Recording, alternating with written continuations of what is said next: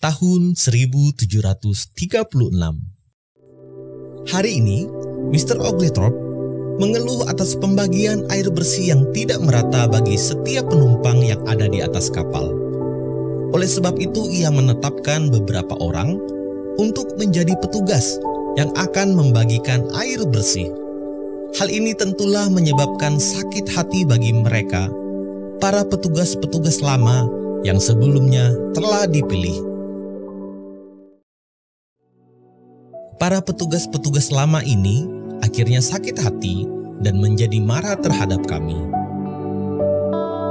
Sabtu tanggal 17 Banyak orang yang menjadi cemas menghadapi angin yang begitu kencang.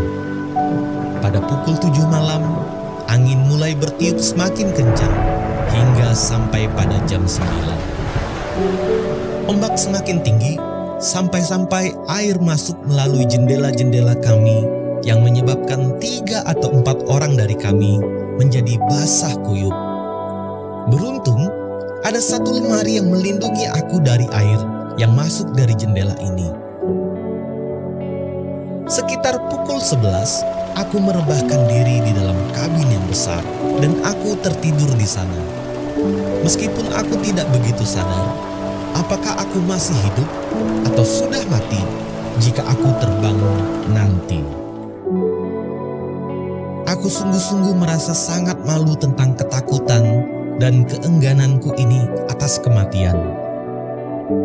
Oh, betapa murninya di dalam hati mereka yang bersuka cita berhadapan dengan Tuhan dalam peringatan ini. Menjelang pagi, ia menghardik angin dan danau itu, maka danau itu menjadi teduh sekali. Matius 8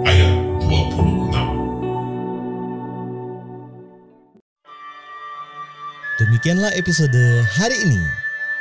Nantikan episode-episode berikutnya tentang kisah kehidupan John Wesley dalam channel ini. Shalom, Tuhan Yesus memberkati.